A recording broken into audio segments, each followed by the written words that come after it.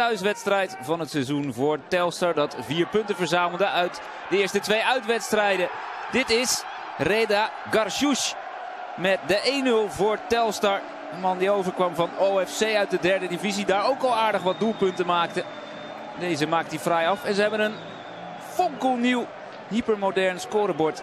Uiteindelijk is ons beloofd dat de mandjes wel terugkomen in Velsen Zuid. Dit is een fantastische redding van Anthony Swolfs.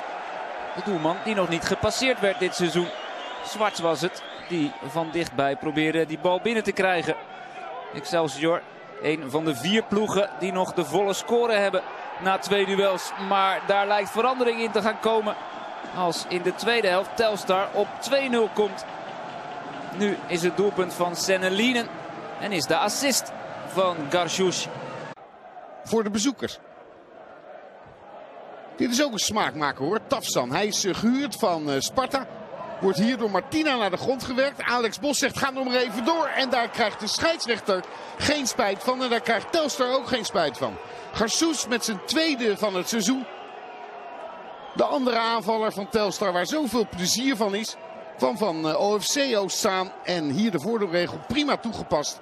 En natuurlijk ook wonderschoon afgemaakt met een curve. Waardoor Deusings voor de tweede... Van Snow. Hens van Kartjuts niet gezien. Kartjuts kan door. Kartjuts moet scoren en doet het ook. Maar Topos zegt, maar hij maakte Hens. Zeker is dit Hens. Oh, hij controleert de bal. Telstar komt hier heel erg goed weg. Langer daar. Berenstein. Strak gegeven, mooie goal. Reda Kartjuc. Dat is een tweede van de avond. Het is 2-2. Opstomen, cornervlag halen en dan gewoon met links voorzetten. Dit keer keurig laag en simpel binnentikken. Over het veldspel van de afgelopen weken. Alleen wordt er bar weinig gewonnen door Telstar. 1 punt uit de laatste vier wedstrijden. Maar de start is florissant tegen Almere. Binnen een minuut is het raak. Karkush maakt hem. Loopt zomaar door en weer doet hij het. Vorige week twee goals tegen Top Os. De vervanger van Gleinor Plet. Die uh, dus echt... Het was goede hoop voor Helmond Sport, want het won zowaar een uitwedstrijd vorig weekend. En dus was de hoop dat het nu ook thuis een goed resultaat kon boeken tegen Telstar. Dat vorige week eindelijk ook weer eens wist te winnen met 1-0 van Almere. En daarmee een einde maakte aan een slechte serie. De start is voor de Witte Leeuwen. Klein kwartier gespeeld als Kargouche zich uh, makkelijk vrij speelt. En Tafsan van dichtbij onder de doelman doorschuift. De Lau laat zich daar wel heel simpel wegzetten. Helmond Sport is machteloos in de eerste helft.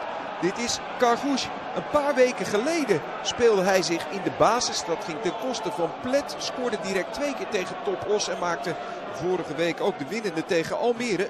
En nu dus opnieuw treft zeker. Het is niet zijn enige van de wedstrijd. Want hij zorgt ook nog voor 3-0 vlak voor rust.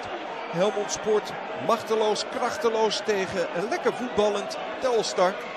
Dat uh, de laatste drie seizoenen ook wist te winnen in Helmond. Telstar met 1-0 voor. En hier een vrije trap die daar blijft hangen. Maar ja, dan is daar de spits. Reda Garjouch. Die zijn achtste van het seizoen hier maakt. Dat is een mooie omsteker voor Telstar dat in de race is uh, in die tweede periode. En hier dus, zoals dat zo mooi heet, goede zaken doet. Bal blijft daar hangen. Reda Garjouch is onverbiddelijk en haalt uit. Het is 2-0 voor Telstar. De enige ploeg die leidt. Ja, want